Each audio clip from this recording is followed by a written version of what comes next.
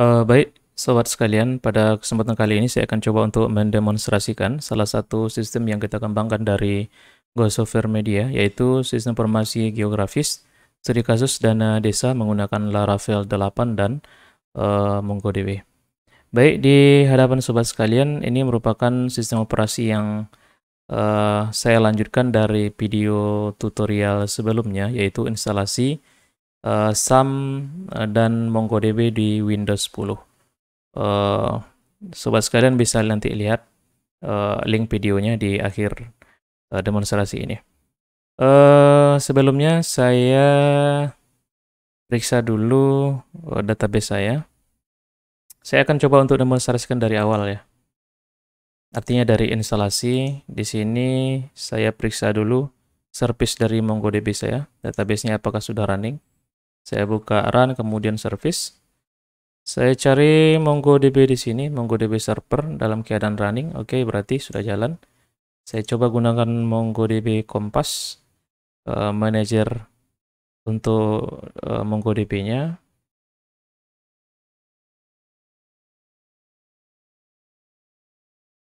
Oke, okay, next. Uh, Oke, okay. saya coba buka dari localhost. Di sini saya punya database CRUD Laravel 8 di sini dari video tutorial sebelumnya. Ini saya coba minimize, kemudian saya buka uh, SAMPP-nya. Saya start di sini Apache saja. Uh, MySQL-nya tidak saya start karena memang saya butuh Apache-nya saya, sedangkan database-nya saya gunakan MongoDB.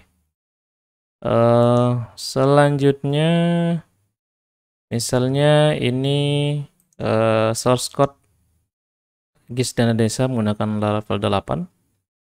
Uh, saya coba copy ke SAM htdoc. Saya paste di sini, kemudian saya extract. Uh, extract ke folder misalnya smart di sini. Untuk informasi dari SAM yang saya gunakan, coba buka Microsoft Edge di sini. Localhost. Di sini sudah ada info titik PHP untuk informasi dari SAM yang saya gunakan. Saya punya 805 di sini. Berarti PHP versi 8. Selanjutnya saya ke localhost ya. Biar nanti nampak. Ini folder yang sudah saya ekstrak, sedang saya ekstrak. GIS dana desa level 8. Oke, selesai. Selanjutnya ketika ini misalnya saya coba buka langsung. Oke, di sini misalnya public. Uh, ini tampilan dari GIS dana desa menggunakan Laravel 8 dan uh, MongoDB. Saya coba untuk setting terlebih dahulu. Saya gunakan Sublime di sini. Ini saya remove. Kemudian saya open lah ya. Open folder ke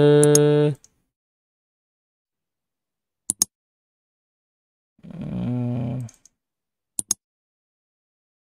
Selanjutnya saya buka instalasi dulu ya. Instalasi di sini personal ini personal start Apache oke buat database baru namanya GIS Laravel 8 saya buka INV nya GIS Laravel 8 di sini oke. Saya coba buat dulu satu buah database. Uh, saya create database. Kemudian karena dia collectionnya harus ada di sini saya gunakan users users uh, bawaan dari Laravel terlebih dahulu. Nanti ini bisa kita create ulang ya saya create database. Ada di sini GIS Laravel 8. Kemudian di sini Go Software GIS Dana Desa. Ini sudah sesuai dengan nama filenya sebenarnya. Laravel 8. Oke, saya gunakan ini saja ya. Kalau untuk key-nya boleh di generate ulang atau ini saja mungkin sepertinya bisa. Username tidak ada, password tidak ada. Oh, kemudian saya buka command prompt saya arahkan ke SAM htdoc Software GIS Dana Desa Laravel 8. Oke, saya coba untuk migrate database-nya. Ini kita sudah punya database di MongoDB-nya. GIS Laravel 8. Saya tes di sini PHP artisan migrate press ya. Biar nanti usersnya sekalian di uh, generate ulang ya.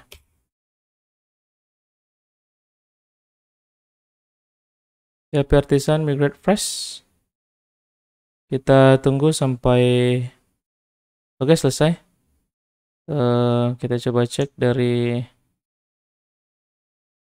MongoDB-nya. Saya coba refresh. Oke, ini desa kategori kecamatan tahun. Oke. Ini saya coba minimize. Saya kembali ke GIS dana desa. Di sini wilayah masih kosong. Pemetaan masih kosong. Login tentunya untuk login. Saya coba register ya. Misalnya name Fauziah misalnya. Wah, ini ada Fauzia di sini. Fauzia@mail.com misalnya. Password. Ini juga. Selanjutnya saya coba register. Dan saya langsung masuk.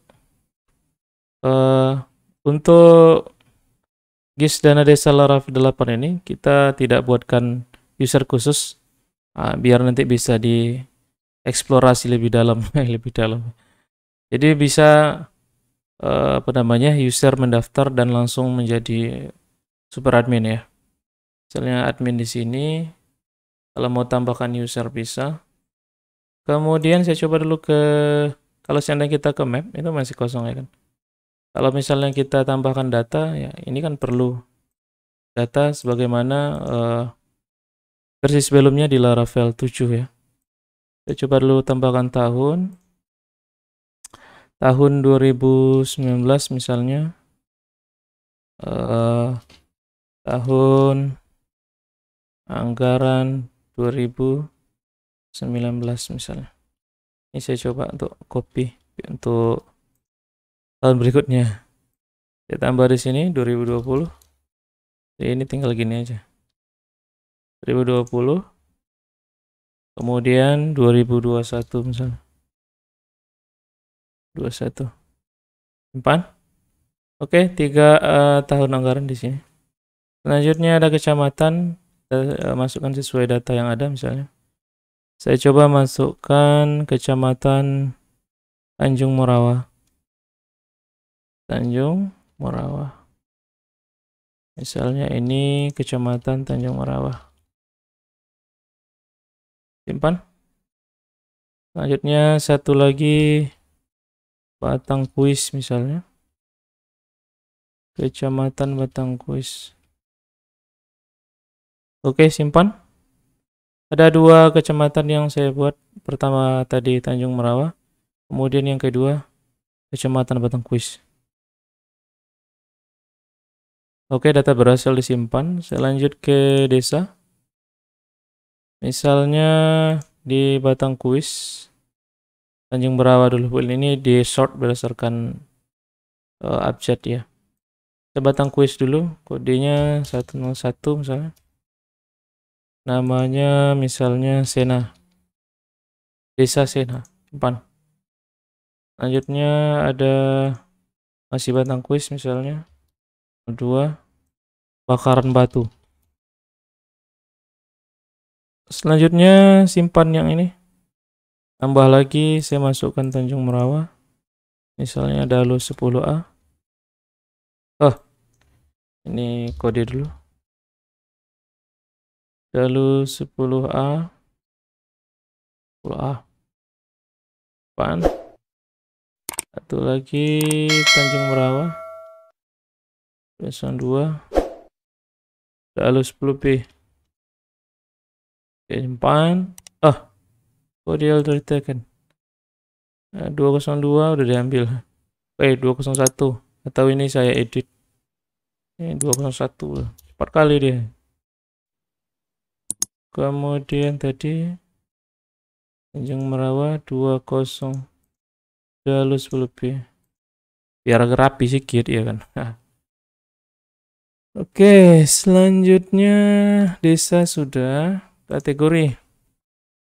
Bahwa kategori sama dengan demonstrasi kita sebelumnya. Nama kategori misalnya eh, semenisasi jalan misalnya. Bantuan. Semenisasi jalan misalnya. Oke, simpan.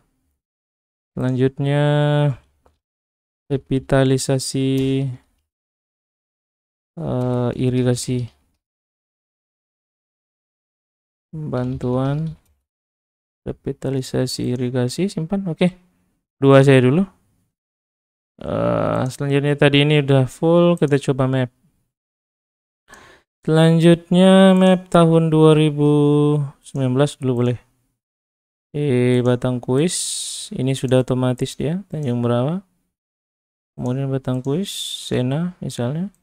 Kategori semanisasi jalan volume uh, 250 meter. Kemudian latitudenya bisa diisi atau pilih di peta. Mungkin kira-kira di sini misalnya itu otomatis. Kemudian keterangan nah, di sini bisa dimasukkan keterangan yang diinginkan serta image juga bisa. Loren Ipsum.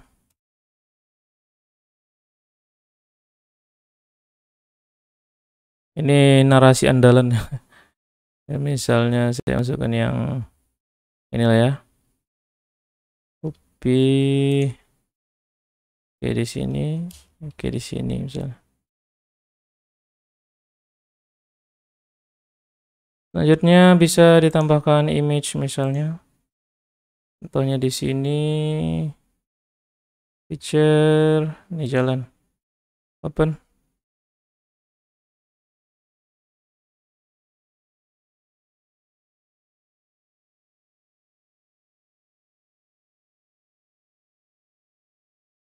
Oke, kalau kasusnya seperti ini tidak bisa masuk image-nya. Coba kita inspect Nah, di sini katanya GD library extension non available.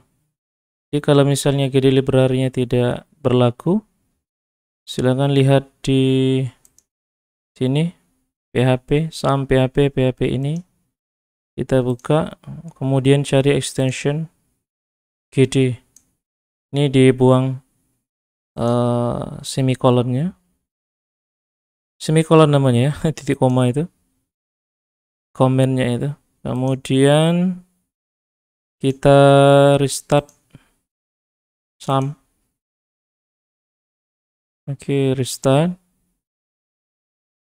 Kita coba ulang.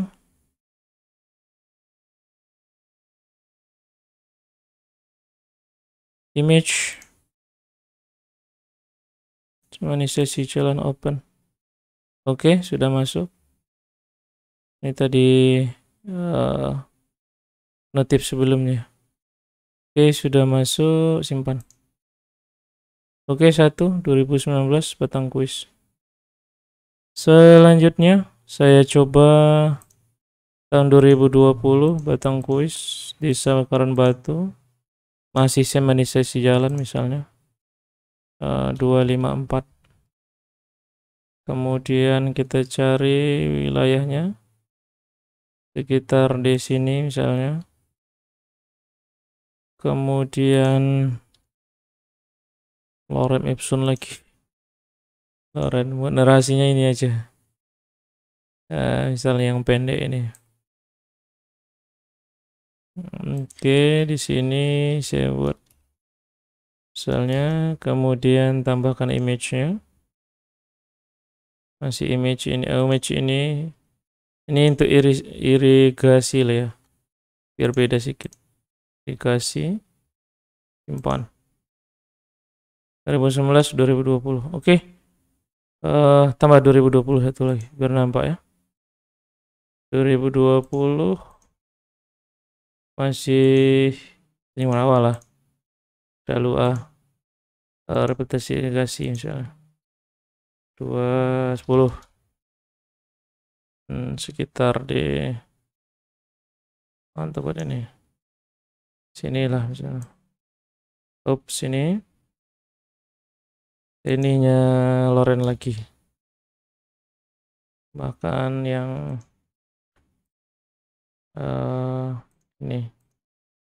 Oke simpan. 2020 sama-sama rehabilitasi ya tahu kalau mau nanti berbeda tambahkan satu lagi. Kalau mau diedit bisa ini diedit. Ini ganti ke semanisasi jalan. Ini bisa dihapus. Masukkan yang ini. Oh ke mana tadi? Kita enter dulu. Biar rapi gambarnya. Jalan. Update oke selanjutnya kita coba. Ini sudah menunya menunya sederhana sekali. Logout. Dari wilayah. Oke 2019 2020 ini secara dinamis. Tanpa enter. Kemudian pemetaan. Kita coba cari 2019 tampilkan. Oke. Oke, di sini juga ada detail. Di sini juga ada detail. Bisa dibaca. Volume. Pencarian lain tahun 2020 tampilkan semua saja. Akan menunjukkan titiknya sesuai dengan yang kita kasih sebelumnya. Oke, yang ini semanisasi jalan. Oke. Uh, baik sobat sekalian, itu mungkin uh, demonstrasi GIS dana desa menggunakan Laravel 8 uh, dan database MongoDB. Mudah-mudahan bermanfaat. Sampai jumpa.